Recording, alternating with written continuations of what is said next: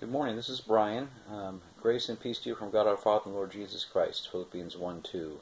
Uh, we're the, in the second part of a little series on conflict resolution. Last uh, time we looked at uh, Matthew 18 15 through 17, and then Matthew 7. Uh, I encourage you to read Matthew 7 1 through um, 6.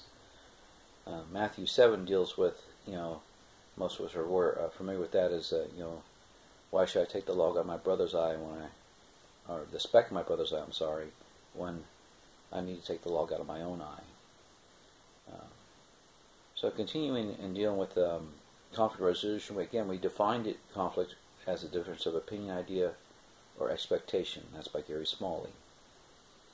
So where did conflict really first begin? Well, we need to go back to the garden. Uh, you know, uh, Genesis 3, 1 through 13 man, Adam's first conflict and response.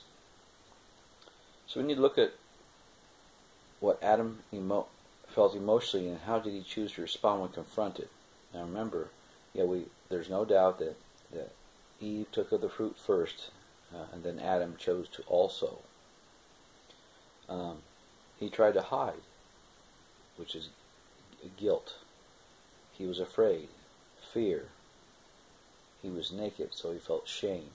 So think about those three emotions guilt, fear, and shame. Um, drove him to do something he never did before. That was to separate from God, you know, who he had a very intimate relationship with. Many of us, uh, either in ourselves or people that we know, struggle with these three emotions guilt, fear, and shame. Maybe something's happened to them in the past they had no control over everything like that, but because it hasn't been, uh, it's unresolved, it still gnaws at, at them. So we are in a season of change. Sometimes that causes conflict. Why do you suppose that is? We are, we are creatures of comfort. We like things comfortable. We like things set in a certain way, whether it's a church service, in our home, uh, at the job, whatever it is. So there's a couple questions we should look at.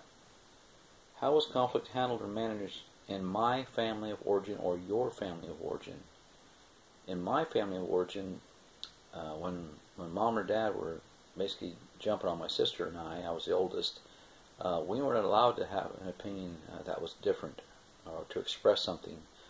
Uh, that was automatically considered back talk, and uh, there was consequences for that.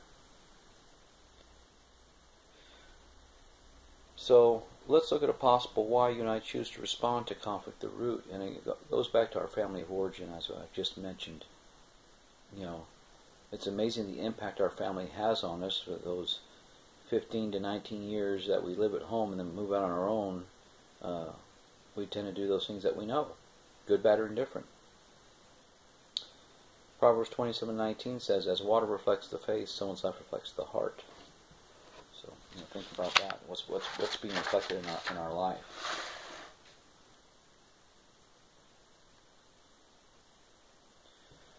And here's some uh, uh, thing to look at. Not only do when we leave home do we we try and recreate uh, family circles, whether it's uh, social networking, friends that we have, or we leave home and in today's society most people tend to live with somebody, but or get married and have kids.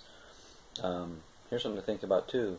Just as people look for spouses who will allow them to practice the relational styles they learned in their dysfunctional childhoods, so too do they look for churches built on relationship style which with they are familiar.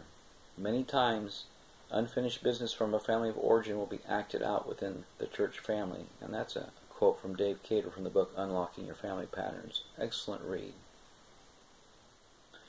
So here's another question to think about. Which of the four divorce patterns do you and I tend to use during a conflict or confrontation? Again, withdrawal avoidance, which is the time out, no time in. Escalation, do we tend to get loud and that kind of thing? Do we invalidate or do we negative interpretate? Here's something to think about too. In relationships, especially when we're talking about a spouse, having a spouse, we tend to choose the opposite of who we are. You know, and again, generally speaking, that's not 100%. And here's something else to think about. At the core of our own negative behavior is an attempt to get our legitimate needs met in illegitimate ways. Unfortunately, the Bible calls this sin. That's a quote by June Hunt. And again, we're looking for acceptance to be loved. We're looking for security, who I am. We're looking for significance, what I do. That's all found in Jesus Christ. Well, thank you. Have a great day.